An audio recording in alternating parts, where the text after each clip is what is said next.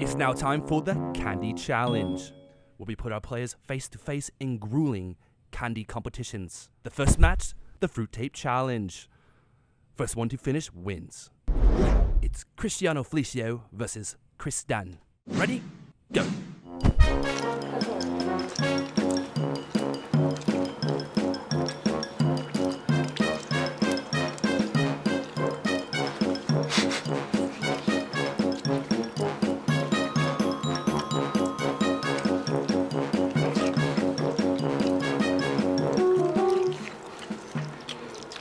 Our winner, Kris Dunn. Who I what? What?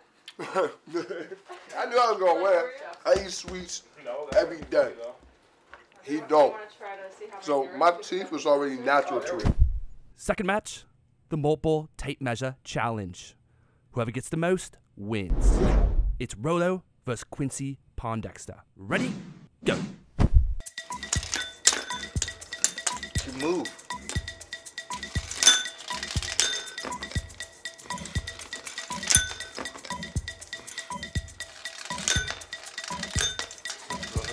Just like high school. Yes, all those nights we spent doing this in high school. Finally paying off. Our winner is Coupon. I Oh. have four, which means I win because we're going by golf rules. Listen here. Wait, we're going by what? Golf? no, Golf no, rules. no, no, no. If you're not first, you're last, and you're last, buddy. Excellent form, Quincy. Well done.